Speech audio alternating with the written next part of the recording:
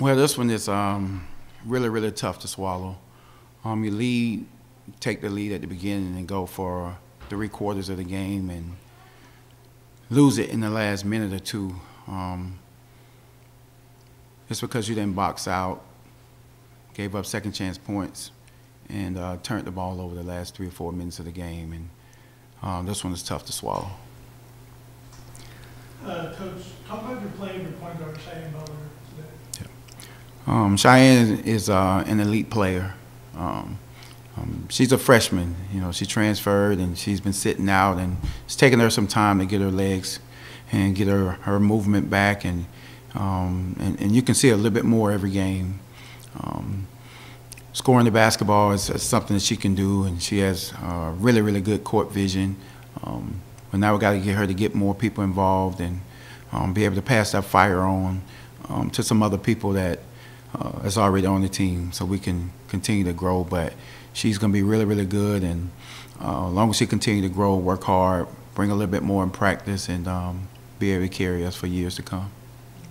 Uh, what can the team learn from tough loss like this in the closing minutes? Yeah, well, I'm, I'm trying to learn too. you know, that's the one thing about it because um, just had a conversation with them, and the one thing we wanted to do was control the paint and um, not give up second chance points and, and rebound the basketball. Our posts did their job, our guards didn't. Um, we allowed some guards to come in and um, get some offensive rebounds and some defensive rebounds, and when we should have took care of that. And it's a tough one to swallow, and we'll get back to work and and, and be able to bring um, that same energy and intensity when we travel to East Carolina. And uh, you know, the one thing I want to say about them is you know, they're resilient. So uh, with every every knockdown, we get back up. You know, we continue to fight.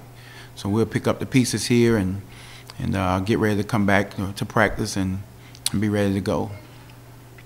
Just your thoughts on ECU, your next game. You know, uh, very good team, especially at home. Um, athletic, older team, so they always have um, uh, junior, seniors, junior college players. So um, should be a good matchup. Um, they're gonna uh, show us multiple uh, defenses. You know, they play a little one-three-one, uh, one-two-two.